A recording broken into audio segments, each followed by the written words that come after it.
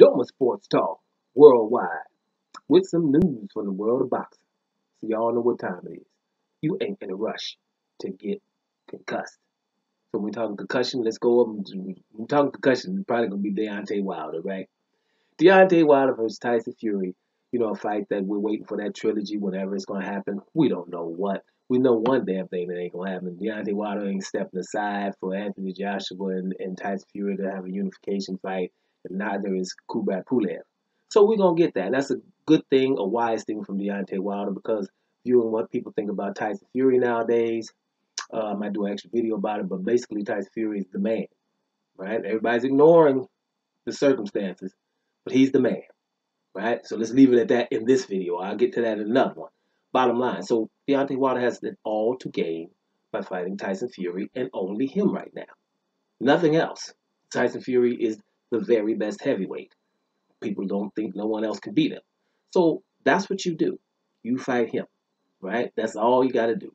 But it's very, very alarming to see that no one cares about what happened. You know, we're talking about Tyson Fury's gloves. Now, I'm not going to talk too much about the doping issue with Tyson Fury had, right, with Nandrolone and Martin Carefoot came out and said that he didn't give him wild boar meat. But I'm telling you, that's been about two months, and we haven't heard anything from that 70 year old guy. 70 year old guy. Doesn't take that long to interrogate the man, right? So basically, I think UKAD and them are paying him to shut up. That's what I'm. I'm just gonna say it. That's what I think. There's no reason in the world why the heavyweight champion of the world, the one who just beat Deontay Wilder, the most dangerous and hardest puncher we've had in a long time, with all that exposure, we don't care about what happens to this story. Imagine you got caught doping. You said that it was a wild boar. You paid the man to, tell you that it was a wild boar, and he came out and said it wasn't, and no one cares. And so, speaking of no one caring about that, no one really cares about the gloves, right? Now, we're talking Tyson Fury here. We're talking a guy who had a fight stopped with Christian Hammer. Just go look at it. Christian Hammer, the fight was stopped. The referee was disgusted that the gloves were tampered with, right? Now, Deontay Wilder's fight, we've seen it on both occasions that the gloves, his hands not always the in the glove. Now, some have come in and say, hey, you know, uh, that doesn't give him advantage, and some have said that it does. Now, viewing that a whole lot of people have said that it does, you know, people that's boxed, Steve Cunningham, Charles Martin, those are boxers. Errol Spence, George Groves, Joey Spencer, you know, so many people and his sparring partners have come out and told you that he's done it in in, in sparring often, two different sparring partners. Isn't that enough to at least investigate? That must mean that you know, either Brothers or Deontay Wilder is so awesome in most people's eyes that they don't even care. They don't care. They really don't care. I think he could have basically took out a baseball bat and hit him, and they wouldn't have cared. You know, WWE style, right? But this fight reminds me a little bit. It, you know, has a little similarities to people that are old enough to know Roy Jones Jr. Not the ones that's YouTubing him now. If you lived through that, you Roy Jones Jr the wow factor of, you know, like I'm way better than everybody, that's Roy Jones Jr. You was like, damn, every time you watch, man, this dude is crazy. That's how it was. Well, he had haters too. But Roy Jones was all that from middleweight. I think he even started at junior middleweight, but I'm not positive. But middleweight, super middleweight, light heavy, went up to heavy to beat John Ruiz, who was John Ruiz was all that because John Ruiz had good fights with Evander Holyfield. But anyway, Roy Jones' first loss was kind of controversial. Montell Griffin. Now, he fought a guy like Montell Griffin, a little bit of, you know, a good mover. Shorter than Roy Jones, right? Which not most of his opponents were. Shorter than him. And he kept his, you know, his legs spread apart. And he had a lot of great upper body movement. So it was hard for, even for Roy Jones to catch this guy, right? Even for Roy Jones to catch this guy. So when Roy Jones caught him and um, had him down, but while he was on the knee, Roy Jones hit him, right? And he was already throwing him combination, but he hit him. What he did, he did one of them do. What dude did to Guillermo Rigondeaux too, but I forget his name. So what he did once he hit Montell Griffin, Montell Griffin went out. Like like the lights was out. He just I don't we don't know. I don't want to just say, but I thought it looked like he was like, you know what, I'm gonna milk this. Cause Roy about to get mad up in here, you know. I'm gonna milk this one. So Roy got disqualified. right? And he probably shouldn't have, but then again, uh, you know, 50% would say he probably should have. The dude was already on one knee. So that pissed Roy off, I'm sure, because he had his first loss and he probably shouldn't have had it. So he came out the next time they fought and demolished the guy round one or two with a left hook. He had kept, kept hitting with left hooks, but he hit him with one to just put him out made him do. The guy did a Trevor Berbick. For those who know, when Mike Tyson hit Trevor Berbick with a left hook, the Berbick tried to get up because he was so so you know, had so much pride that he was trying to get up and couldn't. That happened to Montell Griffith. He was all over the ring, right? And so Mike uh, Tyson Fury and Deontay Wilder is similar in that Deontay Wilder got cheated on, basically, and no one cares. Now, if you're Deontay Wilder, right, or or Floyd Mayweather for that matter, and you do these awesome things, like you keep knocking people out and they, they weigh an average of 30 pounds more than you, people keep talking about your technique. Like, who gives a damn what technique? If he's not cheating, what does what does the technique have to do with it? Right? I'm knocking these big old dudes out that all of them box longer than me. They name Wayne Gerald Washington. Everybody else boxed longer than he did.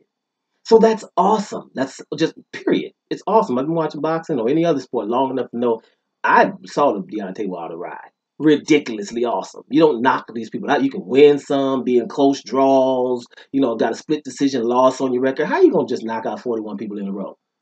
That is ridiculous, right? So that was awesome. Now, he got stopped by Tyson Fury, right? Now Tyson Fury's hitting him knocked him down with a rabbit punch. His ear was bleeding. Now we know he has an injury that is not, uh, you know, not in correlation with being hit with a glove. There could have been something else in there. It might, it might have been a foreign object. We're not going to go there. We don't know. But his injury is not an injury that would happen from a glove. Right? And we, we've seen that his gloves are up and his, his bare knuckles was going, hitting bone on bone probably. So if you're Deontay Wilder, not the fools that don't give a damn about nobody or hate him without knowing him, but any person, right?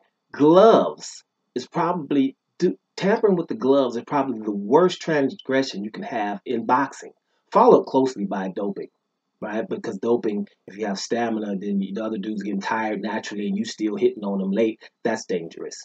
Or you have extra power that you shouldn't have. That's dangerous. But if you're hitting people with knuckles when you shouldn't, that's life threatening. And we saw that with the fight in the 80s. I forget the guy's name. I think it was Billy Collins or something like that fighting a Mexican guy or a Latino for sure. And Latino, uh, this was uh, the guy, I think it was from Scotland or something. He was really uh, doing well. He was a prospect. He hadn't lost yet, and he was in a barn burner of a fight with this guy. And you know, then he lost a, a I think a split decision or something to this guy. And they found out after the fight that the guy's gloves were tampered with. He was suspended, I think, for life for, for tampering with the gloves. You know, taking taking the padding out, suspended for life. But the guy who was, who, you know, um, I forget his name, was Billy something. Anyway, you know, he killed himself a few few years later. He fell into de- depression. You know, his wife was got scared of him, had to go move to, to her mother, but they were scared of him. He was never the same person. And people, that's what we got to forget about. It's not just boxers; these are people. So that's life threatening when you don't when you do something with your gloves. So to ignore that means that y'all don't care if you what if something happens to Deontay Wilder? Did you hate him that much that you don't care that might something might happen to him? And then if that's the the case, then why? What, what is it? Is this little skinny old tall dude that's fighting heavier dudes? You know, we do realize that the guy, other guy, was 40 pounds heavier and bigger than him with a lot more experience. Hence, I know how to do these damn gloves. And it's all over the net, which is ridiculous that no mainstream media is talking about it. And it's starting to get embarrassing mainstream media. What's going to happen is it's going to trickle down to, to um, casuals, and no one's going to be listening to mainstream media. Like me, when they start talking boxing, I totally ignore them. Yeah, I, I listen to what they're saying, but I ain't hearing. You know what I mean? Because it's like whatever. Because I know that you guys are agenda. I go back and tell you, everybody ignored an undisputed fight between Canelo Alvarez and Demetrius Andrade like it wasn't there. So you know, it's things racist emails from Golden Boy to Ring Magazine, and no one talks about it. Man, God, what are you supposed to do? I'm supposed to listen to those people that are uh, ignoring stuff like that. So it's done here. But I'm just saying, most people are not that deep into it to, to realize these transgressions and realize how evil these people are and how gender based it can be. But the gender based is a nice way to say it, right? Because this is just absolutely absurd. So Tyson Fury allegedly, I'm gonna put them up there because this is a whole bunch more than allegedly, cheated on a whole lot of fronts. And he has a history of doing so. So it's worthy of investigation. But if it's not, then how would you feel if you're Deontay Wilder? You like, you know, something you totally disappointed, but Deontay Wilder been disappointed a long time ago. You know what time it is. But he's probably extremely disappointed. And back to what Roy Jones did to Montell Griffith, that's what I think is going to happen to Tyson Fury. As awesome as Tyson Fury is and all that, he gonna get waxed. And he gonna get fought the way he's fighting Deontay Wilder right? Which might not, y'all. I'm telling you, last dude Deontay Wilder swinging at that he didn't really care. Wasn't that Audley Harrison? Remember them? We just swing. He didn't give a damn. Remember them?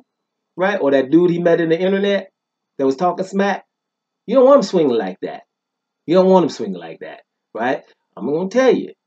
That's what's going to possibly happen to Tyson Fury if people don't at least investigate what he's done.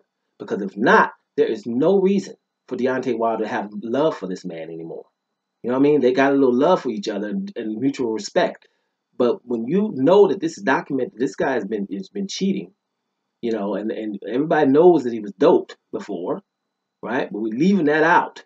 And he still got an opportunity given to him from Deontay Wilder. But to to cheat twice against Deontay Wilder and Deontay Wilder sitting back and watching nobody do anything about it, somebody up for ass whooping. That's what possibly gonna happen, right? So let's see what happens going forward. I got a lot more to say about that, but um, I'm just thinking, you know, Tyson Fury is really awesome. He's an awesome fighter and all that. But we saw Steve Cunningham. We saw Otto Wallin, right? I don't know why we acting like we forgetting that, you know, he's been in close fights. And don't even get it twisted. McDermott, for crying out loud. A fight that he probably lost, right? The first McDermott fight. If you don't believe me, go watch it. So it's not like Tyson Fury is heads and shoulders above everybody else, like no one else has an opportunity. And when, when you're talking Deontay Wilder, he's knocked him down twice, right? And let me tell you something else. Personally, I don't think Deontay Wilder would cheat. I don't think he would he would cheat. I know I'm that type too. I wouldn't cheat at a game of cards. Game of cards. I wouldn't care. I, oh, I, I won. I didn't win if I didn't win. And I can live with that. But if I won, I ain't trying to cheat. And there's people like that out there. I don't think Deontay Wilder would cheat. I don't think Guillermo Rigondeaux would cheat. I don't think Terrence Crawford would cheat neither. I just don't. There's just certain things you could just see. I just don't. People are chasing greatness. And when you're doing that, you're not looking for shortcuts. That's the way I see it. Let's see what happens with Deontay Wilder and Tyson Fury. I think that at least, you know, to satisfy a lot of people, right? I just unfortunate that a lot of people that they would have to satisfy look the same. But they should start thinking about at least investigating to see what's going on, to make sure that Tyson Fury is not going to do this again, which he's probably not anyway, not in this next fight. But the fact that he has a track record, you want to do something about that. It first of all to help Tyson Fury to make sure he understands that you know, dude, we love you, but we don't we don't want you to cheat. And if you're the type of person that doesn't care that he cheats, then basically, I'll be honest with you, the hell with you then. You know, because we look, we're talking about fair sport here, period. If not, everybody can start doping and kind of do everything they want to do, and we don't care if somebody dies in the ring. But most of us do. Doma Sports Talk, world, uh, worldwide. And I'm up out of here, y'all.